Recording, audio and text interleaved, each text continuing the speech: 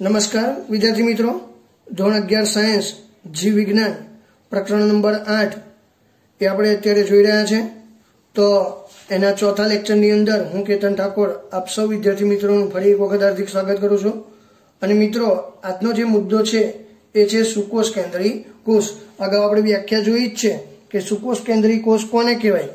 તો એવો કોષ કે જેની અંદર સુવિકસિત કોષ કેન્દ્ર હોય સુવિકસિત કોષ કેન્દ્ર હોય, કોષ કેન્દ્ર પટલ હોય, કોષ કેન્દ્ર પટલ હોય અને તમામ પટલમય અંગિકાઓની હાજરી હોય, તમામ પટલમય અંગિકાઓની હાજરી હોય, તો એવા કોષને આપણે સુકોષ કેન્દ્રીય કોષ તરીકે ઓળખીએ છીએ હવે મિત્રો આવા કોષ કયા છે? તો બધા જ પ્રોટિસ્ટા વર્ગ બધા જ પ્રોટિસ્ટા વર્ગ. ત્યારબાદ વનસ્પતિઓ વનસ્પતિઓ, પ્રાણીઓ અને ફૂગ. આ વગેરેના જે કોષો છે, એ બધા સુવિકસિત કોષ કેન્દ્ર ધરાવતા અને પટલમય અંગિકાઓની હાજરી ધરાવતા કોષો છે. માટે આપણે એને સુવિકસિત, અરે સુકોષ કેન્દ્રિત કોષ તરીકે ઓળખીએ. છીએ આની મુખ્ય લાક્ષણિક લાક્ષણિકતાઓ તો મેં તમને કીધું કે વિવિધ અંગિકાઓની હાજરી બરાબર છે. એનું જે કોષ કેન્દ્ર છે, એ કોષરસ પટલથી આવૃત છે અને એ વિવિધ પ્રકારના પ્રચલન સંકુલ અને કોષરસ કંકાલ જેવી હાજરી ધરાવે છે. અહીં આપણે લખીએ, કોષરસ કંકાલ કોષરસ કંકાલ અને વિવિધ પ્રકારના પ્રચલન સંકુલ. મિત્રો, આ બધું શું છે આપણે વાળા પરથી જોવાના જ છે, એટલે સજે ગભરાતા નહીં. હવે મિત્રો જોઈએ આનુવંશિક દ્રવ્ય, એ પણ એ રંગસૂત્ર સ્વરૂપે ગોઠવાયેલું છે. આનુવંશિક દ્રવ્ય બરાબર છે. એ રંગસૂત્ર સ્વરૂપે ગોઠવાયેલું છે. તો એની પણ આપણે વિસ્તૃત વાતો કરવાના છે. હવે મિત્રો, પ્રસ્તુત આકૃતિની અંદર તમે જોઈ શકો છો કે એક સુકોષ કેન્દ્રિત કોષ તરીકે આપણે લાક્ષણિક પ્રાણી કોષ અને વનસ્પતિ કોષની આકૃતિઓ દોરી છે. જેની અંદર તમે આપણે સૌપ્રથમ પ્રાણી કોષની વાત કરીએ, તો પ્રાણી કોષની અંદર મધ્ય ભાગે જે છે એ કોષ કેન્દ્ર છે. સૌથી બહારનું સ્તર એ કોષરસ સ્તર છે. વચ્ચેનો જે પ્રવાહી ભાગ છે, જેલી જેવો ભાગ, એને આપણે કોષ રસ કહીએ છીએ. એ રીતે વનસ્પતિ કોષમાં પણ એવું છે. પરંતુ વનસ્પતિ કોષની વાત કરીએ તો એક બહારનું વધારાનું એક સ્તર છે, જેને આપણે કોષ દિવાલ કહીએ છીએ. હવે જોઈ શકો છો કે અહીં જે પ્રાણી કોષ છે, એમાં સૂક્ષ્મ રસાંગુળો છે, સાથે સાથે ગુલગીકાઈ છે. ત્યારબાદ લાઇસોઝોમ્સ છે, તારા કેન્દ્ર છે. પછી મધ્ય ભાગે કોષ કેન્દ્ર છે, એની ઉપર કોષ કેન્દ્ર પટલ છે. મિત્રો, તમને ખબર છે કે સુકોષ કેન્દ્રી સજીવોમાં સુવિકસિત કોષ કેન્દ્ર અને કોષ કેન્દ્ર પટલ તેમજ પટલમય અંગિકાઓની હાજરી જોવા મળે છે. તો એ તમે જોઈ શકો છો. સાથે સાથે પેરોક્સિઝોમ છે અહીં વાયુયુક્ત રસધનીઓ છે. બરાબર છે, ત્યારબાદ કણાભ સૂત્ર છે, રિબોઝોમ છે, તો આવી બધી અંગિકાઓ આવેલી છે. મધ્ય ભાગની અંદર જે કોષ કેન્દ્ર છે, એની અંદર કોષ કેન્દ્ર કણિકાઓ આવેલી છે. અને સાથે સાથે કોષ કેન્દ્ર રસ પણ આવેલો છે. એ જ રીતે લાક્ષણિક વનસ્પતિ કોષની વાત કરીએ તો એમાં વધારાની જે સ્તર છે, એ કોષ દિવાલ છે. ત્યારબાદ એની અંદર જે રસધાની છે, મોટી છે. તમે જોઈ શકો છો પ્રાણી કોષમાં નાની રસધાની છે એ મોટી રસધાની છે. મિત્રો જે લાક્ષણિક પ્રાણી કોષ છે, એની અંદર તારા કેન્દ્ર જોવા મળે છે. અને વનસ્પતિ કોષમાં તારા કેન્દ્ર જોવા મળતું નથી. એ રીતે અહીં આગળ જે હરિતકણ જોવા મળે છે વનસ્પતિ કોષમાં, જે પ્રાણી કોષમાં તમને જોવા મળતું નથી. આ ઉપરાંત જે તમે જોઈ શકો છો કે અહીં જે કોષ કેન્દ્ર છે, એક્ઝેક્ટ મધ્ય ભાગે હોય છે, જ્યારે અહીં થોડું પરિઘ વિસ્તારથી નજીક જોવા મળે છે. સાથે સાથે જે અંતઃકોષ રસજાળ છે, એ તમે બંનેમાં જોઈ શકો છો કે અહીં જે કોષ કેન્દ્રની શરૂઆતથી થોડોક ભાગ છે, એ લીસી અંતઃકોષ રસજાળ છે. અને ત્યારબાદ પછીનો જે ભાગ છે, એ કણિકામય, કારણ કે રિબોઝોમની હાજરી જોવા મળે છે, તો કણિકામય અંતઃકોષ રસજાળ છે. ત્યારબાદ તમે જોઈ શકો છો કે વનસ્પતિ કોષની અંદર સ્ટાર્ચ કણો જોવા મળે છે, જ્યારે પ્રાણી કોષની અંદર એ રીતે જોવા મળતા નથી. તો આના આધારે આપણે હોમવર્કની અંદર પણ એક પ્રશ્ન લખવો કે તફાવત આપો. લાક્ષણિક વનસ્પતિ કોષ અને લાક્ષણિક પ્રાણી કોષ. બરાબર છે? તો આ રીતે બંને જે કોષ છે, એની આકૃતિ સુંદર રીતે દર્શાવેલ છે. સાથે સાથે આનાથી વધુ સુસ્પષ્ટ આકૃતિ જે તમારી બુકમાં આપેલી છે, એ તમને અસાઇનમેન્ટમાં પણ આપવામાં આવશે. એક નવો મુદ્દો આપણે સ્ટાર્ટ કરીએ છીએ, અને એ છે કોષ રસ પટલ, અથવા કોષ રસ સ્તર. તો મિત્રો, તમે પ્રસ્તુત આકૃતિની અંદર જોઈ શકો છો કે જે કોષ છે, આપણે યાદ કરીએ કે પ્રથમ દિવસે જ મેં તમને કોષની જે રચનાની વાત કરી હતી, તો એમાં આજે બહારનું જે સ્તર છે, મુખ્ય ત્રણ સ્તર ધરાવે છે, તો બહારનું જે સ્તર છે, એને આપણે કોષરસ સ્તર કહીએ છીએ.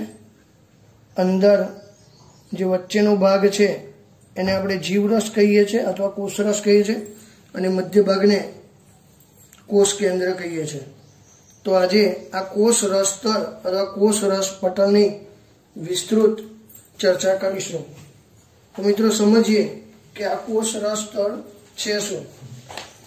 તો ઈસવીસન ઓગણીસો પચાસમાં, ઈસવીસન ઓગણીસો પચાસમાં ઇલેક્ટ્રોન માઇક્રોસ્કોપની શોધ થયા બાદ કોષરસ પટલની વિસ્તૃત માહિતી આપતી સંરચનાનો અભ્યાસ શરૂ થયો.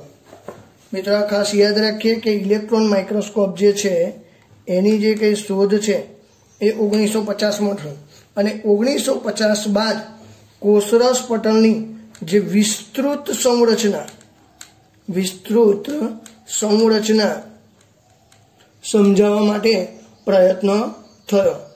હવે મિત્રો આગળ જોઈએ કે આ દરમિયાન મનુષ્યના જે રક્તકણ છે, એ રક્તકણનો જે કોષરસ પટલ એના રાસાયણિક અભ્યાસ પછી વૈજ્ઞાનિકોએ કોષરસ પટલની સંભવિત રચના વિશે જાણકારી પ્રાપ્ત થઈ શકે. એટલે કે સૌપ્રથમ જે માહિતી જે છે, આ કોષરસ પટલની સૌપ્રથમ માહિતી શેના પરથી મળી આવી?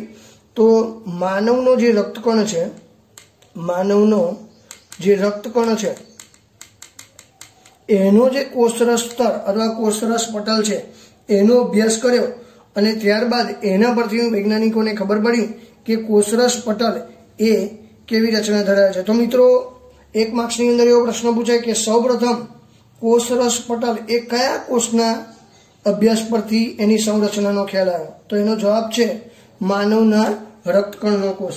હવે મિત્રો જોઈએ કે આ જે કોસરા સ્તર છે, એને સમજાવતા ઘણા બધા જે મોડેલો રજૂ થયા. ઘણા બધા મોડેલો રજૂ થયા. પરંતુ એમની કંઈક મર્યાદાને લઈને એ સમયાંતરે નિષ્ફળ ગયા અને રસ સ્તર એટલે કે કોસરા સ્તરનું અંગેનું સુધારેલું સુધારેલું એટલે કે સંપૂર્ણ માહિતી આપતું જે મોડેલ છે એ ઈસવીસન ઓગણીસો ને બોતેરમાં. ઈસવીસન ઓગણીસો ને બોતેરમાં બે વૈજ્ઞાનિકના બે વૈજ્ઞાનિક જે છે, એમનું નામ છે સિંગર અને નિકોલસન. આ સિંગર અને નિકોલસન નામના જે બે વૈજ્ઞાનિક છે એણે એક મોડલ કોષરસ સ્તરને સમજાવતું, એક મોડલ રજૂ કર્યું. જેને આપણે આજે ફ્લુઇડ મોઝેક મોડેલ તરીકે ઓળખીએ છીએ. મિત્રો, યાદ રાખીએ, ફ્લુઇડ મોઝેઇક મોડેલ. બરાબર છે? તો આ ફ્લુઇડ મોઝેક મોડેલ શું કહે છે? એ આપણે સમજવાનો પ્રયત્ન કરીએ. તો ફ્લુઇડ મોઝેક મોડેલ એવું કહે છે કે જે લિપિડની અર્ધ તરલ પ્રકૃતિના કારણે તેની દ્વિસ્તરીય ગોઠવણીમાં અંદર પ્રોટીન પાશ્વીય ગતિ કરે છે. મિત્રો સમજીએ આ વાક્યને, કે લિપિડની અર્ધ તરલ પ્રકૃતિ.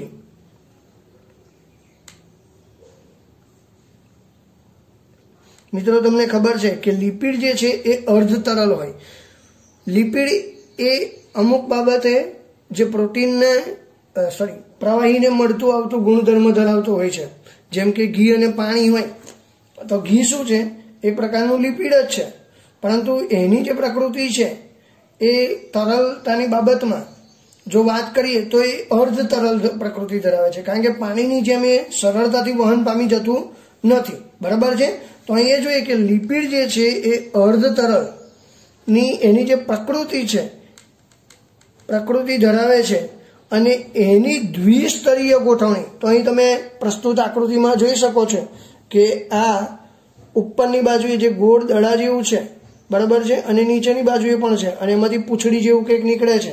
એટલે ટૂંકમાં આવું કહી શકાય.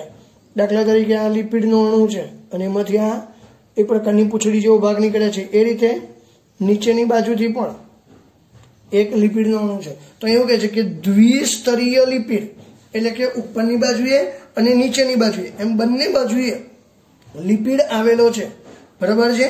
અને એ દ્વિસ્તરીય ગોઠવણીમાં એની લિપિડની જે દ્વિસ્તરીય ગોઠવણીમાં અંદર પ્રોટીન પાશ્વીય ગતિ કરે છે. તો મિત્રો આ સિંગર અને નિકોલસન, એણે જે મોડેલ રજૂ કર્યું, એટલે કે ફ્લુઇડ મોઝેક મોડેલ રજૂ કર્યું, એના પરથી આપણને શું શીખવા મળ્યું? કે બેલમ બેલું તો જે લિપિડ છે કોષરસ સ્તરની અંદર એ જે લિપિડ છે, મિત્રો યાદ રાખીએ કે કોષરસ સ્તરની અંદર જે લિપિડ આવેલું છે, એ છે ફોસ્ફોલિપિડ. બરાબર? કારણ કે એની અંદર ફોસ્ફેટ આયન પણ આવેલો હોય છે. તો અહીં તમે જોઈ શકો છો કે ઉપર અને નીચે બે લિપિડના અણુ છે, તો દ્વિસ્તરીય ગોઠવણી થાય અને એની વચ્ચે વચ્ચે આવો જે તમે રેડ કલરનો જોઈ શકો છો, એ પ્રોટીન અણુ આવેલો હોય છે. તો એવું કહે છે કે લિપિડની અર્ધતરલ પ્રકૃતિના કારણે તેની દ્વિસ્તરીય ગોઠવણીમાં અંદર જે પ્રોટીન છે, એ પાશ્વીય ગતિ કરે છે. હવે એવું કહે છે કે પટલમાં તેની ગતિ કરવાની આ ક્ષમતાને તરલતાને આધારે નક્કી થાય છે. એટલે કે આ જે પ્રોટીન જે છે, એ પાશ્વીય ગતિ કેટલી કરે? કેટલી ગતિ કરે?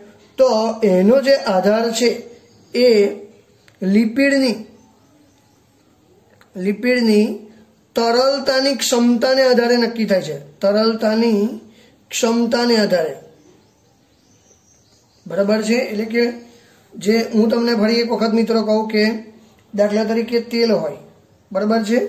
આપણે સિંગ તેલ લઈ લઈએ અને ઘી લઈ લઈએ. તો જે સિંગ તેલ જે છે, એની તરલતા કેવી છે? વધારે છે. જ્યારે ઘીની કેવી છે? ઓછી છે. તો એવું કહે છે કે જે, જેની તરલતા વધારે હોય, જે લિપિડની તરલતા વધારે હોય એમ પ્રોટીન વધારે ગતિ કરી શકે છે. બરાબર છે? અને એ રીતે જે લિપિડની તરલતા ઓછી હોય, તો એની અંદર આ જે પ્રોટીન છે, એ ઓછી ગતિ કરી શકે છે. તો અહીં જોઈએ મિત્રો કે કોષરસ પટલ જે છે, એને બે વિભાગમાં વહેંચ્યું છે. આપણે અહીં ટાઇટલ આપીએ. કોષરસ પટલ.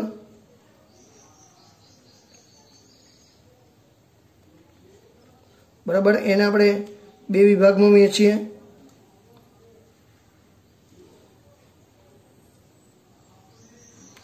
એમાં જે પહેલો વિભાગ છે, એને આપણે લિપિડ કહીએ અને બીજો ભાગ કહીએ પ્રોટીન.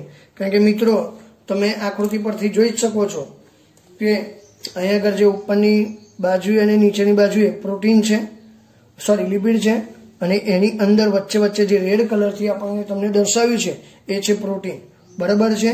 હવે જે અંદરના ભાગે ગોઠવાયેલું હોય, એને આપણે અંતર્ગત પ્રોટીન કહે છે, અને જે બહારની સાઈડે જે ગોઠવાયેલું હોય છે, દાખલા તરીકે આ બહારની સાઈડે હોય, એને આપણે બહિર્ગત પ્રોટીન તરીકે પણ ઓળખીએ છીએ. બરાબર છે? તો હવે એવું કહી શકાય કે જે લિપિડ, દ્વિસ્તરીય લિપિડ છે, એની અંદર પ્રોટીન જે છે, એ અંશતઃ ગોઠવાયેલા આપણને જોવા મળે છે, અને એ પાછા ગતિ કરતા હોય છે. તો હવે આપણે સમજવાનો પ્રયત્ન કરીએ. તો લિપિડ તો લિપિડ જે છે એ દ્વિસ્તરીય હોય છે? કેવું હોય છે? દ્વિસ્તરીય હોય છે. લિપિડના અણુનું ધ્રુવીય શીર્ષ બહાર તરફ જ્યારે જલ વિતરાગી પૂંછડી એ અંદરની તરફ હોય છે. મિત્રો, આ જે લિપિડ છે એ બે ભાગ ધરાવે છે. એક છે શીર્ષ. અહીં આપણે લખીએ શીર્ષ. લિપિડ જે છે એ બે ભાગ ધરાવે છે. એક શીર્ષ. અને જે શીર્ષ હોય છે એ કઈ બાજુ હોય છે? બહારની બાજુ. તમે જોઈ શકો છો. અને ત્યારબાદ આ જે પૂંછડી છે, જલ વિતરાગી પૂંછડી. જલ વિતરાગી એટલે શું? કે પાણીના અણુને દૂર ધકેલે. બરાબર છે? તો જલ વિતરાગી જે પૂંછડી જે છે, એ અંદરની તરફ ગોઠવાયેલી જોવા મળે છે. એકદમ સિમ્પલ છે મિત્રો. એવું કે છે કે દ્વિસ્તરીય છે અને જે ઉપરની બાજુ એ શીર્ષ છે. અહીં તમે બંને બાજુ જોઈ શકો છો કે જે ગોળાકાર ભાગ છે એને આપણે શીર્ષ કહીએ છીએ અને અંદરના ભાગે જે તંતુમય જેવી રચના જે છે એને આપણે પૂંછડી કહે છે તો તંતુમય ભાગ જે પૂંછડી જે છે એ અંદરની બાજુએ હોય છે, જે જળ વિતરાગી હોય છે. એટલે કે પાણીના અણુને વહન પામવા દેતું નથી. આમ આના આધારે સ્પષ્ટ થાય છે કે સંતૃપ્ત હાઇડ્રોકાર્બનની બનેલ અધ્રુવીય પૂંછડી જળકૃત પર્યાવરણથી રક્ષણ પામે છે. હવે આ જે પૂંછડી જે છે એ શેની બનેલી છે? સંતૃપ્ત હાઇડ્રોકાર્બન. એટલે કે મિત્રો લિપિડની બનેલી હોય છે. એટલે કે તમને ખબર છે કે પાણી હોય, તમે પાણી અથવા પાણીનું જે ટીપું છે એ તેલની અંદર નાખો તો શું થશે? ઓબ્વિયસલી તરશે. બરાબર છે? કારણ કે એ એની અંદર દ્રવ્ય એટલે કે ઓગળતું નથી. તો અહીં પણ એવું છે કે જે, આ જે ભાગ જે છે, બરાબર છે? કોષરસ સ્તનનો જે ભાગ છે કે જે ફોસ્ફોલિપિડનો બનેલો છે એ પાણીના પર્યાવરણથી, એટલે કે જલકૃત પર્યાવરણથી એકદમ સુરક્ષિત રહે છે. બરાબર છે? તો આ બધું સમજાયેલ છે. હવે લિપિડ મુખ્યત્વે ફોસ્ફોગ્લિસરાઇલ લિહેડનો ઘટક છે. અગાઉ પણ મેં તમને કહ્યું કે જે લિપિડ છે એ અહીં કયા પ્રકારનું છે? તો ફોસ્ફોલિપિડનું બનેલું છે. મિત્રો, યાદ રાખીએ, ઘણી બધી વખત એક માર્ક્સમાં પ્રશ્નો પણ પૂછાતો હોય છે કે કોસરસ પટલ જે છે, એની અંદર આવેલું જે લિપિડ છે, એ કયા પ્રકારનું તત્વ ધરાવે છે? તો એ છે ફોસ્ફેટ. બરાબર છે? અને ફોસ્ફેટ અને લિપિડ બે ભેગા થઈને ફોસ્ફોલિપિડ બનાવે છે. તો આ બધી જે વાતો થઈ, એ થઈ લિપિડની. હવે મિત્રો બીજો ભાગ જે છે, એ છે, અહીં રેડ કલરનો ભાગ બતાવ્યો છે તમને. જેને આપણે પ્રોટીન કહીએ છીએ. તો પ્રોટીન શું છે? તો અહીં જોઈએ કે કોષરસ પટલમાં જૈવ રાસાયણિક સંશોધનો દ્વારા પુરવાર થયું છે કે કોષરસ પટલ, આજે કોષરસ પટલ જે છે એ પ્રોટીન પણ ધરાવે છે. બરાબર છે? કોષરસ પટલ પ્રોટીન પણ ધરાવે છે. હવે જોઈએ કે જુદા જુદા કોષોમાં લિપિડ અને પ્રોટીનનું પ્રમાણ અલગ અલગ હોય છે. જેમ કોષ જુદા, એમ લિપિડ અને પ્રોટીન. લિપિડ અને પ્રોટીન એનું પ્રમાણ પણ કેવું હોય છે? અલગ અલગ હોય છે. મિત્રો, ખાસ યાદ રાખીએ, જેમ કોષો અલગ અલગ, એમ તેની અંદર રહેલા લિપિડ અને પ્રોટીનનું પ્રમાણ પણ અલગ અલગ હોય છે. હવે વાત કરીએ તો મનુષ્યનું જે રક્તકણ છે? એના પટલમાં બાવન ટકા પ્રોટીન અને ચાલીસ ટકા લિપિડ હોય છે. મનુષ્યનો રક્તકણની વાત કરીએ, મનુષ્યનો રક્તકણ તો એની અંદર પ્રોટીનનું પ્રમાણ જોઈએ. તો પ્રોટીનનું પ્રમાણ કેટલું છે? બાવન ટકા છે. જ્યારે એની અંદર લિપિડનું જે પ્રમાણ છે એ કેટલું છે? ચાલીસ ટકા. તો આમ અહીંયા આગળ તમને એક ઉદાહરણ આપ્યું છે. આ રીતે મિત્રો વનસ્પતિ કોષમાં પણ અલગ અલગ વનસ્પતિનો જે કોષ હોય એની અંદર આ જે પ્રોટીન અને લિપિડનું પ્રમાણ અલગ અલગ હોય છે. આપણા શરીરની અંદર પણ આવેલા છે. વિવિધ પ્રકારના પ્રોટીન છે. એની અંદર પણ આનું જે પ્રમાણ અલગ અલગ હોય છે. આ મિત્રો જોઈએ, અગાઉ મેં તમને જે વાત કરી એ મુજબ જે પ્રોટીન છે, એ અહીં કોષ રસ્તરની અંદર બે રીતે ગોઠવાયેલા છે. એક જે છે અંતર્ગત પ્રોટીન, એટલે કે અંદરની તરફ ગોઠવાયેલા છે. અને બીજા છે બહિર્ગત અથવા પરિઘીય પ્રોટીન તરીકે એને ઓળખવામાં આવે છે. તો એકદમ સિમ્પલ વાત છે, આપણે લખીએ કે જે પ્રોટીન છે એ બે રીતના છે. એક પરિઘીય અને બીજા છે અંતર્ગત. તો અહીં તમે આકૃતિની અંદર જોઈ શકો છો કે અંતર્ગત જે પ્રોટીન છે એ પટલની અંદર ખૂંપેલા હોય છે. બરાબર છે? જ્યારે આ બહિર્ગત જે પ્રોટીન છે અથવા પરિઘીય પ્રોટીન છે એ પટલની બાહ્ય સપાટી પર જોવા મળે છે. તો આ રીતે જે કોષરસ સ્તનનું આવું સુધારેલું સિંગર અને નિકોલસનનું મોડલ એ આપણે એ રીતે જોયું છે અને આપણે ફ્લુઇડ મોઝેક મોડેલ તરીકે ઓળખીએ છીએ મિત્રો, ફરીથી એકવાર આખું રિવાઇઝ કરી લઈએ તો કોષરસ પટલ, એટલે કે કોષનું બહારનું સ્તર, જેને આપણે કોષરસ સ્તર તરીકે પણ ઓળખીએ છીએ, આકૃતિની અંદર બહુ સરસ રીતે તમને દર્શાવ્યું છે. હવે જોઈએ કે ઈસવીસન ઓગણીસો પચાસમાં ઇલેક્ટ્રોન માઇક્રોસ્કોપની વિસ્તૃત સંરચનાનો અભ્યાસ થયા પછી બરાબર છે કે કોષરસ પટલની માહિતી આપવામાં આવી.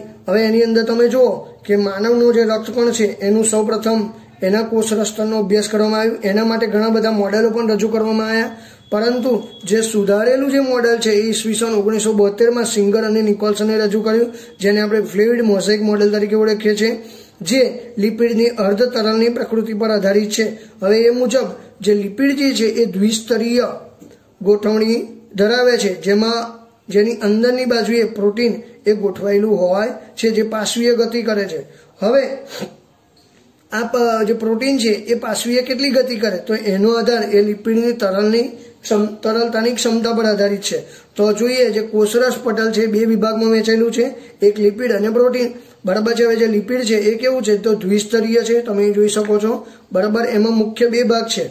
ઉપરનો ભાગ જે ગોળાકાર ભાગ છે, એને આપણે શીર્ષ કહે છે, નીચેનો ભાગ જે પૂંછડી જેવો છે. એને આપણે પૂંછડી કહીએ છીએ તંતુમય રચના છે. બરાબર? હવે જે શીર્ષ ભાગ છે, બહારની તરફ છે, અને પૂંછડીનો ભાગ જે છે, એ અંદરની તરફ જોવા મળતો હોય છે. પૂંછડી જે છે, એ સંતૃપ્ત હાઇડ્રોકાર્બનની બનેલી છે, જેને આપણે ફોસ્ફોલિપિડ તરીકે ઓળખીએ છીએ જ્યારે બીજો જે ભાગ છે, એને પ્રોટીન કહે છે. પ્રોટીન બે પ્રકારના છે. એક પરિઘીય પ્રોટીન અને અંતર્ગત પ્રોટીન. બરાબર છે? એટલે કે જે બહારની બાજુએ ગોઠવાયેલા હોય, એને બહિર્ગત પ્રોટીન કહીએ છીએ જ્યારે પટલની અંદર ખૂંપેલા હોય, એને આપણે અંતર્ગત પ્રોટીન કહીએ છીએ હવે કોષરસ પટલ એ પ્રોટીન ધરાવે છે. એવું જૈવ રાસાયણિક સંશોધનોને આધારે સાબિત થયું છે. કોષ, જેમ કોષ જુદા જુદા હોય છે, એમ એની અંદર લિપિડ અને પ્રોટીનનું પ્રમાણ પણ કેવું હોય છે? અલગ અલગ હોય છે. દાખલા તરીકે મનુષ્યના રક્તકણની વાત કરીએ, તો એમાં જે પ્રોટીનનું પ્રમાણ કેટલું છે? બાવન ટકા. જ્યારે લિપિડનું પ્રમાણ કેટલું છે? ચાલીસ ટકા. મિત્રો, હવે જે આપણે કોષરસ પટેલને સમજ્યા, તો કોષરસ પટલના કાર્યો શું છે? એની સમજૂતી મેળવીએ. તો જે અગાઉ તમને જણાવ્યું કે કોષરસ પટલ જે છે, એની પ્રકૃતિ એ પ્રમાણે જે એના કાર્યો છે. જેમ કે કાર્યો જોઈએ તો સૌપ્રથમ જે કાર્ય છે, એ છે કોષ વૃદ્ધિ. કોષની વૃદ્ધિ કરવામાં આ કોષરસ પટલ એ ખૂબ જ મહત્વનો ભાગ ભજવે છે. ત્યારબાદ આંતરકોષીય જોડાણ. આંતરકોષીય જોડાણ. બે કોષો વચ્ચેનું જોડાણ માટે પણ મહત્વનો ભાગ ભજવે છે. ત્યારબાદ એમાંથી કેટલાક પ્રકારના સ્ત્રાવોનો, કેટલાક રસાયણોનો સ્ત્રાવ થાય છે, તો સ્ત્રાવ માટે પણ જવાબદાર છે. ત્યારબાદ અંતઃભક્ષણ. જ્યારે કોઈ બહારનો કણ આવે, તો એનું ભક્ષણ કરવા માટે પણ એ મહત્વનો ભાગ ભજવે છે. તો આ બધા કોષરસ પટલના કાર્યો છે. આ મિત્રો કોષરસ પટલનું સૌથી મહત્વનું જો કાર્ય હોય, સૌથી મહત્વનું જો કોઈ કાર્ય હોય, તો એ છે દ્રવ્યના અણુઓનું વહન. દ્રવ્યના અણુઓનું વહન. આ મિત્રો જોઈએ કોષરસ પટલ જે છે, એ પસંદગીમાન પ્રવેશશીલ પટલ છે. પસંદગીમાન પ્રવેશશીલ પટલ. તમને પ્રશ્ન થાય કે પસંદગીમાન પટલ એટલે કેવું પટલ? તો પસંદગીમાન પટલ એટલે એવું પટલ કે જેમાં જે અમુક પ્રકારના દ્રવ્યોને જ અણુઓને વહન પામવા દે. અમુક દ્રવ્યના અણુઓને વહન પામવા દે નહીં. તો અહીં જે વહન જે છે એ મુખ્યત્વે ચાર રીતે થાય છે. તો એમાં જે પહેલું વહન છે, પહેલા પ્રકારનું જે વહન છે, એ છે નિષ્ક્રિય વહન. નિષ્ક્રિય વહન. મિત્રો, નિષ્ક્રિય વહન એવું વહન છે કે જેમાં કોઈ પણ પ્રકારના કોઈ પણ પ્રકારની શક્તિની જરૂર પડતી નથી. મિત્રો, દ્રવ્યના કેટલાક અણુઓના વહન માટે જ્યારે કોઈ પણ પ્રકારના શક્તિની જરૂર ન પડતી હોય, તો એને આપણે નિષ્ક્રિય વહન કહીએ છીએ. હવે, આની અંદર મુખ્યત્વે જે પ્રસરણનો એક સિદ્ધ પ્રસરણ ઢોળાંશનો એક સિદ્ધાંત છે કે વધુ સાંદ્રતાથી વધુ સાંદ્રતાથી ઓછી સાંદ્રતા. એટલે કે દ્રવ્યના અણુઓ પોતાની વધુ સાંદ્રતાવાળા વિસ્તારમાંથી પોતાની ઓછી સાંદ્રતાવાળા વિસ્તાર તરફ ગતિ કરે છે, જેને આપણે નિષ્ક્રિય વહન કહીએ છે. તો આ જે વહન છે, એ કોષરસ પટલ કાર્ય કરે છે. ત્યારબાદ બીજું છે આશ્રુતિ મિત્રો તમને ખબર છે કે કોષરસ પટલ છે એ ફોસ્ફોલિપિડનું બનેલું છે. હવે જે આ ફોસ્ફોલિપિડ જે છે, એ જળ વિતરાગી છે. એટલે કે પાણીના અણુને આકર્ષતું નથી. પણ તેમ છતાંય એની અંદર કેટલાક વાહક પ્રોટીન આવેલા છે. બરાબર છે? તો એ પ્રોટીનની મદદથી જે પાણી છે, એ પોતાની વધુ સાંદ્રતાથી, પાણી જે છે, એ પોતાની વધુ સાંદ્રતાથી પોતાની ઓછી સાંદ્રતા તરફ ગતિ કરે છે. તો આ ઘટનાને આપણે આશ્રુતિ કહીએ છીએ. ત્યારબાદ છે સાનુકૂલિત વહન. સાનુકૂલિત વહન. તો મિત્રો અગાઉ જણાવ્યું કે કેટલાક અણુઓ એવા છે કે ઝડપથી વહન પામી શકતા હોય, પરંતુ જે અણુઓનું વહન ના થતું હોય, એટલે કે લિપિડના દ્વિસ્તરમાંથી જે પસાર ન થતું હોય, તો એને વહન કરવા માટે આ સાનુકૂલિત વહનની જરૂર પડતી હોય છે. અને એની અંદર જે ખાસ કરીને જે કોઈ ભાગ ભજવતા હોય તો એની અંદર ખૂપેલા જે છે એ છે વાહક પ્રોટીન. આ વાહક પ્રોટીન જે એ દ્રવ્યના અણુઓની હેરફેર કરે છે, જેને આપણે સાનુકૂલિત વહન વહન તરીકે ઓળખીએ છીએ. અને છેલ્લું છે સક્રિય વહન. સક્રિય વહન એટલે કે મિત્રો એવું વહન કે જેની અંદર ઢોળાંશની વિરુદ્ધ દિશામાં ઢોળાંશની વિરુદ્ધ દિશામાં એટલે તમને ખબર છે મિત્રો ઢોળાંશ એટલે શું? ઉપરથી નીચેની તરફ. એને ઢોળાંશ કહેવાય. અને ઢોળાંશની વિરુદ્ધ દિશા એટલે કે નીચેથી ઉપર તરફ. તો જ્યારે આપણે નીચેથી ઉપર તરફ, એટલે કે ઢોળાંશની વિરુદ્ધ દિશામાં કોઈ દ્રવ્યના અણુઓનું વહન કરાવવું હોય, તો એને આપણે સક્રિય વહન કહીએ છીએ. અને સક્રિય વહનમાં એટીપીની શક્તિની જરૂર પડતી હોય છે. એટીપીની શક્તિની જરૂર પડતી હોય છે. દાખલા તરીકે સોડિયમ પોટેશિયમ પંપ છે. સોડિયમ પોટેશિયમ પંપ છે. મિત્રો, આની જે બધી વિશેષ વાતો છે, એ આપણે અગિયારમા ચેપ્ટરની અંદર બહુ ડિટેલમાં કરીશું. એ વખત સમજાવીશું કે ખરેખર નિષ્ક્રિય વહન કેવી રીતે થાય છે આશ્રુતિની ઘટના શું છે, સાનુકૂલિત વહન કેવું છે અને સક્રિય વહન શું છે. આ બધામાં શું બેઝિક તફાવત છે, એ બધું એ વખત યાદ રાખીશું. પણ તેમ છતાં અત્યારે આપણે ટૂંકમાં સમજી લઈએ કે જે કોષ પટલ છે, એ કોષની વૃદ્ધિ માટે જવાબદાર છે, આંતરકોષીય જોડાણ માટે છે, કેટલાક દ્રવ્યોના સ્ત્રાવ માટે જવાબદાર છે, અંતભક્ષણ માટે જવાબદાર છે, અને સૌથી અગત્યનું હોય તો દ્રવ્યના અણુનું વહન. એમાં જો કોઈ પણ પ્રકારની શક્તિની જરૂર પડ્યા વગર જે દ્રવ્યના અણુઓ છે, પોતાની વધુ સાંદ્રતાથી ઓછી સાંદ્રતા તરફ ગતિ કરતું હોય તો એને નિષ્ક્રિય વહન કહેવામાં આવે છે. જો પાણીના અણુનું વહન કરે, તો એને આપણે આશ્રુતિ કહીએ છીએ. તમને ખબર મેં અગાઉ જણાવ્યું મુજબ, એ રીતે જ્યારે વાહક પ્રોટીનની મદદથી કોઈ દ્રવ્યના અણુનું વહન થતું હોય, તો એને આપણે સાનુકૂલિત વહન કહીએ છીએ. અને ઢોળાંશની વિરુદ્ધ દિશામાં, અને બીજું લખીએ કે એટીપીની શક્તિના ઉપયોગ સાથે. બરાબર છે? અહીં લખ્યું જ છે, પણ તેમ છતાં ફરી આપણે લખ્યું કે એટીપીની શક્તિના ઉપયોગ વડે જે દ્રવ્યના અણુનું વહન થાય છે, એને આપણે સક્રિય વહન કહીએ છીએ. દાખલા તરીકે સોડિયમ પોટેશિયમ પંપ. આ દરેક વસ્તુ મિત્રો શું છે? એ આપણે અગિયારમા ચેપ્ટરની અંદર ખૂબ જ ડિટેલમાં એ વખત અભ્યાસ કરીશું, તે વખત વાત કરીશું.